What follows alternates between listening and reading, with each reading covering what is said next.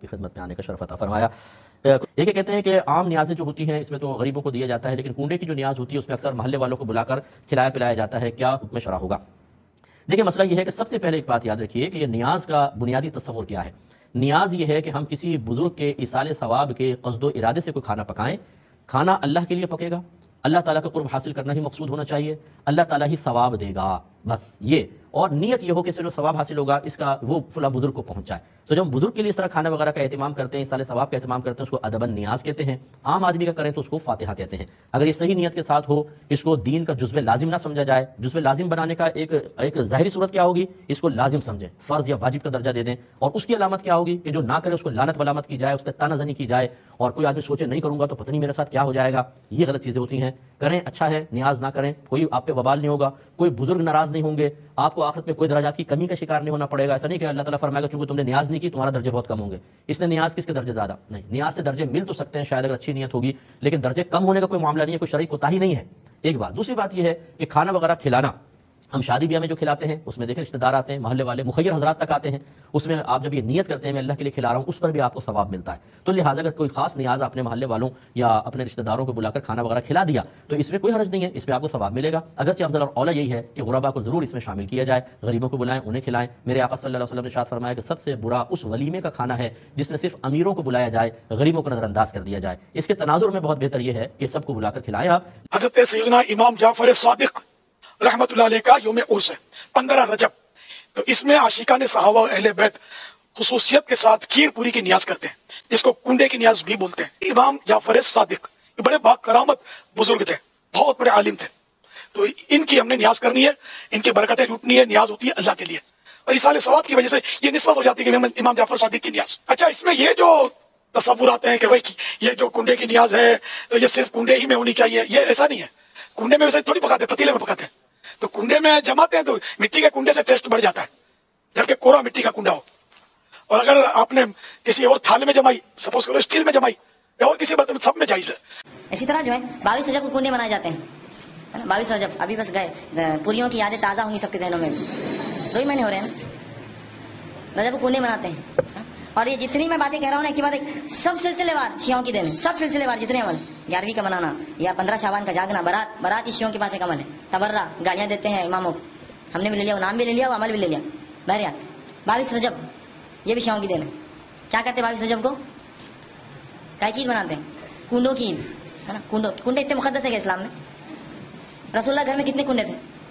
तो मुकदस चीज़ होती है रसुल्ला अपने पास रखते हैं कुंडे जमा करो, बड़ी मुकदस चीज़ है इसकी ईद बनने वाली, मेरी उम्मत को ईद दी गई इसकी। और असला फरमाया दो ही ईदें मेरी उम्मत को दी गई है कि ईद फित्र और ईद अजहा क्यों नहीं कहा कुंडों की ईद? ईद कदर, और ग्यारहवीं की ईद, और तेरहवीं की ईद, और इसकी न्याज, और उसकी फला। दो ही ईदें दी गई। दो ही ईदें। ईद फित्र ईद उल अजहा है ना? तो बाईस कुंडे मनाते हैं। ये कुंडे के पीछे असलियत मानो क्या है? और मुसलमानों की जितनी शख्सियतें हैं बड़ी बड़ी उनके मौत पर मुसलमानों से खुशियाँ मनाई, इन शियाओं ने मनाने लगवाई। हमारे हालात ऐसे कि आज खुशियाँ मनाते हैं अपने बड़ों की मौत पर। बाईस अजब का वाक्य सुन लीजिए। बाईस अजब को एक शख्सियत का इंतकाल होता है अब्दुल अब्बास खाना खाते हैं। उनके गुलाम, उनकी बांदी आती है, खबर देती है अब्दुल्ला अब्बास के कान में। और अब्दुल्ला इब्न अब्बास खाना छोड़कर खड़े हो जाते हैं। खबर क्या थी? खबर थी कि अमीर माविया का जो इंतकाल हो गया बाईस रजब को। अमीर माविया वो शख्सियत थी, जिसने इन शियाओं के साथ जो एक, जिसको बोलेंगे लोहे का हाथ रखा था इनके ऊपर। ये पूरे दबे हुए थे। लेकिन जैसे अमीर माविया का इंतकाल हुआ, इनको एकदम खुशी की लहर दौड़ पड़ी। क्या माविया मर गया? आप खुशी मनाएँगे। और मनाए तो कैसे मनाए? हुकूमत को पता चल जाएँगे ना, खुशियाँ मनाई जाएँगी तो। खलीफा मनाए वक्त का तो खुशियाँ खुफिया मनाई जाएँगी।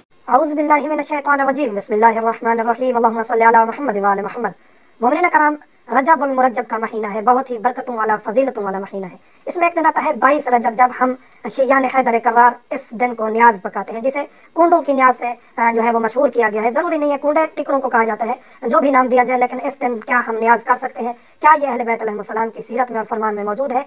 या इसको करना जायज़ नहीं है? इस पर काफ़ी सवाल किए जाते हैं, और हमारे ऊपर एतराज़ भी काफ़ी उठाया जाता है कि ये बिदातें करते रहते हैं।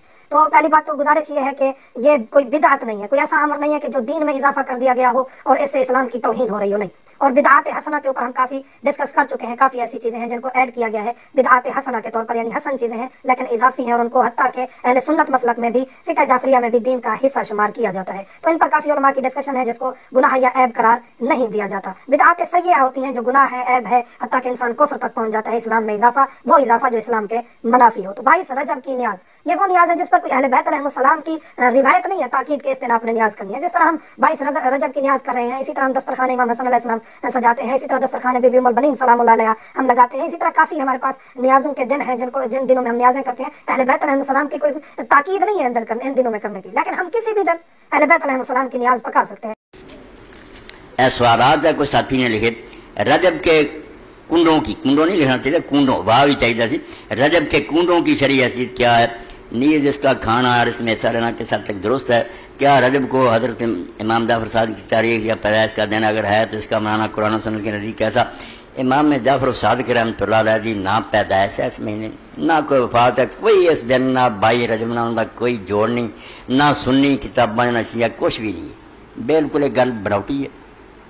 दर पर जरा सीज़न पक्की जो भी कोई नहीं, मगर बहरहाल मशहूर रिवायत है तारीख जी भी हज़रत माविया रजन की मौत बाई रजम हुई ਇਸ ਤੋਂ ਸ਼ੀਆ ਲੋਕ ਆਪਣੀ ਜਗ੍ਹਾ ਤੇ ਉਹਨਾਂ ਨੂੰ ਸਮਝ ਕੇ ਉਹ ਇੱਕ ਬਹੁਤ ਖਰਾਬ ਆਦਮੀ ਸੀ ਉਹਨਾਂ ਦੀ ਮੌਤ ਹੋਈ ਤੇ ਈਦ ਦਾ ਦਿਨ ਜਸ਼ਨ ਦਾ ਦਿਨ ਮਨਾਉਂਦੇ ਵੀ ਪੂੜੀਆਂ ਹੋਣ ਹਲਵੇ ਹੋਣ ਖਾਓ ਪੀਓ ਖੁਸ਼ੀਆਂ ਕਰੋ ਦਰ ਪਰਦਾ ਗੱਲ ਆ ਹੋਰ ਇਮਾਮ ਜਾਫਰ ਸਾਦਕ ਬਿਲਕੁਲ ਕੋਈ ਸ਼ੀਆ ਵੀ ਭਰਾ ਮੇਰੀ ਮਦਦ ਕਰੇ ਵਿਖਾਵੇ ਵੀ ਉਹਨਾਂ ਦੀ ਪੈਦਾਇਸ਼ ਹੈਗੀ ਉਹਨਾਂ ਦੀ ਮੌਤ ਹੈਗੀ ਕੋਈ ਨਹੀਂ ਰਜਬ ਨਾਲ ਕੋਈ ਤਾਲੁਕ ਨਹੀਂ हज़रत मुआविया रज़ी मौत का किस्सा जो बिल्कुल तारीखी है वो पर धंधा शुरू होया। मगर एक गल अगर नंगी कर दे फिर जो सादा सुनी इन्होंने कहू रलना इसे इस तरह जाल फस सकते थे ना, बेनियाज आ, बरकत आ जरा दुआऊगा वो सारे काम ठीक हो गए बल्कि नाल जमीमा वादता कि मान साहब ने आख्या मुश्किल ना हल हो बराबर सूजी पावे, बराबर खंड, बराबर क्यों तो दिन क्याम से मैनू फल हाँ, ऐसी गलत आवाम चल वाह वाह वाह, कई छापते हो जाए इस टाइम। तो बेवकूफ़ लोग ना कि देना मुराद पूरी होनी ना कोई गल है अगर कोई मुश्किल है मुसीबत है तो अल्लाह तारा पुकारो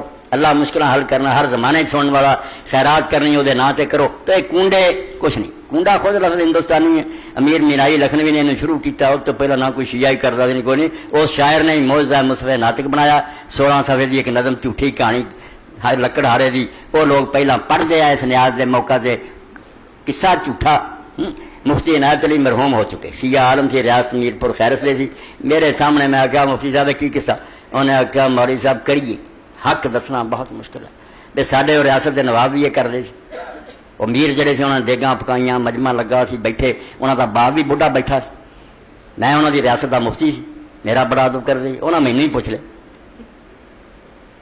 ਕਿ ਮੁਫਤੀ ਸਾਹਿਬ ਇਹ ਕੁੰਡੇ ਛੁੰਡੇ ਜਿਹੜੇ ਕੀ ਹੈ ਮੁਫਤੀ ਸਾਹਿਬ ਆਖਿਆ ਬਿਲਕੁਲ ਉਸੇ ਸਮਝ ਜਿਵੇਂ ਮੈਂ ਪੁਲਿਸ ਰਾਤ ਤੇ ਖੜਾ ਸੀ ਕਿ ਹੁਣ ਸੱਚ ਦੱਸਿਆ ਤੇ ਰਿਆਸਤ ਤੋਂ ਛੁੱਟੀ ਹੋ ਜਾਣੀ ਇਹ ਇੰਨਾ ਖਰਚਾ ਕਰਦੇ ਆ ਜੇ ਸੱਚ ਨਾ ਦੱਸਾਂ ਤਾਂ ਦੀਨ ਗਿਆ ਮੈਂ ਫਿਰ ਦਰੇਰੀ ਕਰਕੇ ਆਖਿਆ ਵੀ ਨਵਾਬ ਸਾਹਿਬ ਇਹ ਸਭ ਝੂਠ ਹੈ ਨਾ ਕੋਈ ਲੱਕੜਹਾਰਾ ਸੀ ना एक कोई गल हुई है ना एक कुंडिया का कोई असर है वाट मत्थे अहले तशैयो के घरों में अच्छा ये लफ्ज़ अहले तशी हम भी पहले बोलते थे लफ्ज़ अहले तशी नहीं है ये अहले तशैयो है कि घरों में पकने वाले कुंडे अहले सुन्नत खा सकते हैं। भाई, अहल सुन्नत के घरों पकने, घरों में पकने वाले कुंडे हों या अहले तशैयो के?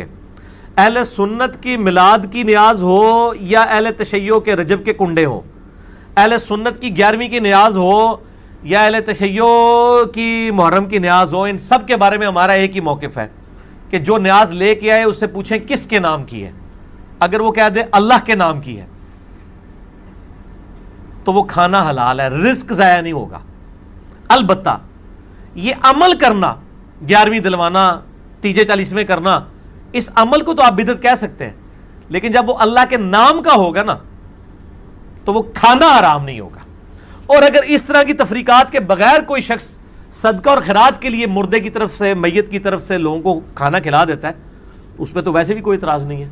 मैयत की तरफ़ से, मसला 74 मेरा लाखों लोग देख चुके हैं। इसाल स्वाब। इसाल स्वाब लफ्ज़ दुनिया में बैठ के कहीं लिखा जाए। सबसे पहले हमारा क्लिप खुलता है। पौने दो घंटे का लेक्चर है और कोई साढ़े तीन, पौने चार लाख लोग देख चुके हैं। अल्हम्दुलिल्लाह। मैंने सारी डिटेल्स उसमें बताई हैं। वो आप देखें, हमारा मौकफ यह है कि अल्लाह के, अगर वो कहता है अल्लाह के नाम का नहीं है, ये नबी इस्लाम के नाम का है, हुसैन इस्लाम के नाम का है, फलां के नाम का है तो उससे फिर पूछें काउंटर क्वेश्चन इसका मतलब क्या है? अगर वो कहता है कि नाम अल्लाह के न्याज की है, हम सवाब इमाम हुसैन इस्लाम को पहुंचाना चाहते हैं तो ये भी खाना हराम नहीं होगा, ये मैयत की तरफ़ सदका ही शुमार होगा। अगर वो कहता है कि हम ये हुसैन के नाम की न्याज दे रहे हैं, और हम ये चाहते हैं कि हुसैन इस्लाम खुश हो जाए और हमारे मुश्किल कुछ आए, फिर तो एक करोड़ दफ़ा भी अल्लाह का नाम लें तो ये रिस्क जो है ना, वो इमाम हुसैन ही सबसे पहले उठा के परे फेंकेंगे। इस तरह का रिस्क काबिल कबूल नहीं होगा।